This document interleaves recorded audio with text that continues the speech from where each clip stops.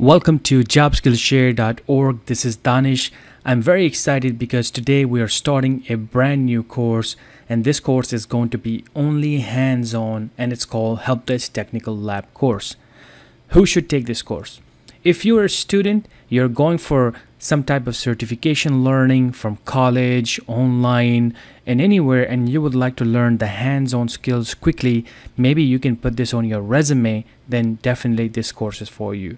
Now, this is also for someone like if you're a student and you're making a decision, I would like to see what kind of technical things will I be doing after my college or after my education, then this is for you. So you may have a good time while you're doing your studies, but you can do these labs on your own at your own uh, machines or you can purchase it from us. I'll show this later on then you can follow these videos you can do that yourself or you can follow our labs. Now this is going to be for people like that too.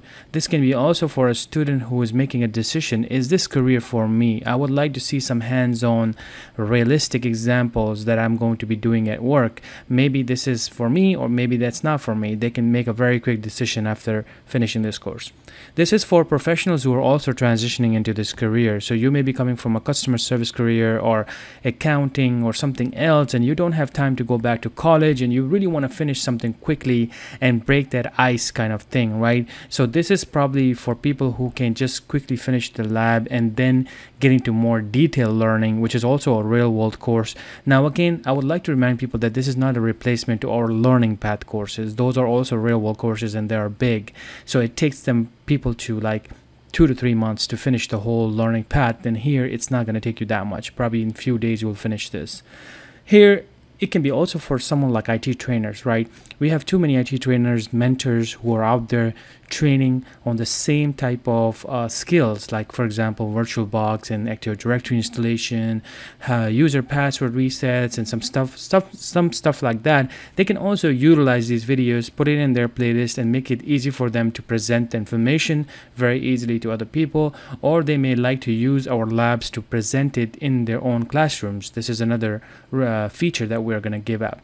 IT tech recruiters, this is for them too, because sometimes uh, tech recruiters may not have uh, too much time to send somebody to train uh, because they may have a very good candidate, but they may be lacking those technical skills. Now, a lot of people say that, oh, you know, technical skills can be learned uh, on the job. Make sure that we have the, you know, a candidate with, the, you know, more of uh, customer service type of quality skills like that you know. But the problem is that you're going to find many people like that and and when you have more competition people are going to go for more technical skills and they're going to make make a decision based on that because somebody will be more technical than other and that both persons will have really good customer service and behavioral skills. Now, this is where a technical recruiter will get stuck and they'll have to then train or give somebody a much better, uh, you know, uh, techniques to for technical skills. Now, most of the tech, tech recruiters are not uh, full IT professionals. Some are, but most of the cases, people are and not that technical. So they may need some kind of uh, you know help in this area so they can actually use this resource to help them out. This is for IT enthusiasts and IT mentors but they can use this in whatever way they want to use it because this is a content so people can watch it and maybe they'll have different ideas uh, by either watching the videos or maybe watching the labs. They can definitely enjoy this and you know share this information with other people. As long as it's shared from our source uh, if somebody do want to share this let us know. We would like to know how you're sharing this uh, because we do want to know how people are sharing this information what we'll be covering this lab objectives and basically we're going to make a complete picture a complete picture of I'm just going to quickly jump down to this slide right now a picture where a person gets hired for the first day. What do they do on the first day? So we're going to give you that theoretical understanding as well in these labs. But of course we're not going to go to such details where this becomes a full theoretical course. We want to keep it to the target and that is when a person lands a job as a technical person what do you do then? What's the first process right? There are certain processes if you know it doesn't matter where you work uh, as long as you know these skills then you will be confident. What makes me confident or somebody else with experience? Because they know certain things right so a lot of people have a little bit of problem over here where they say you learn the experience on the job because this is the stuff that you you have to wait for it. The problem with that is that there like i said too much competition right? You have too much going on and this this has a flaw in there. When this this whole mentality has a flaw where you have to wait uh, land a job, then go and learn these skills. There's a big flaw, and the flaw is stress. And as an IT professional, you become less stressful when you know more stuff, when you, when you get more experience. And how do you get more experience? When you start touching tools, different type of environments, different type of scenarios, where you become more experienced. That's why you call yourself experienced. That's why the other person is, uh, you know, uh, can teach you or mentor you. The reason for that is that they have seen more than the person who have not.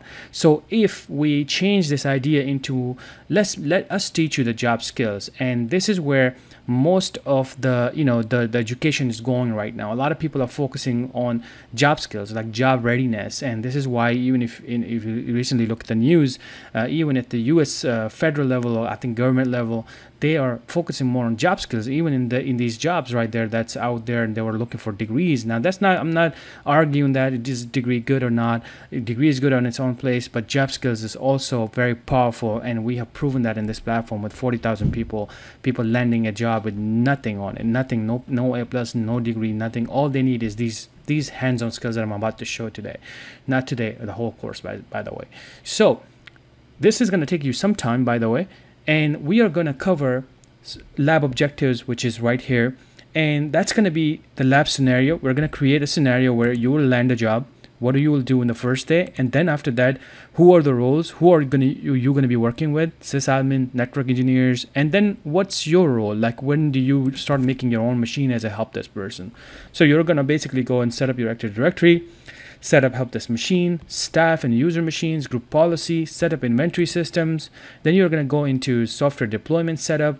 Then you're going to go into Azure Office 365, Office desktops, remote management, backup and recovery, security management, ticketing system, real life tickets, and then some projects that we know internally and troubleshooting of course you cannot get away with that and the tools that you need and at the end you're gonna pretty much focus on windows 10 and once you finish all these three areas then that's even your your, uh, your of course your level level one skills are going to be covered right here but you're going to be actually touching level two skills and some of the junior sysadmin stuff because we're not preparing people for ticketing system or here. We don't we, we don't want you to be, be a person who just uh, assign a ticket to somebody and then you're stuck in a place where you do this repetitive task. We know we're, we're trying to make you an IT professional so then you can move on to any place with confidence and at the end what will happen you're going to finish the whole flow like that and at the end you'll just basically complete the whole thing with with the certificate. Of course certificate is not going to be available on youtube for free or anything like that. You got to be either a member or you got to have some kind of lab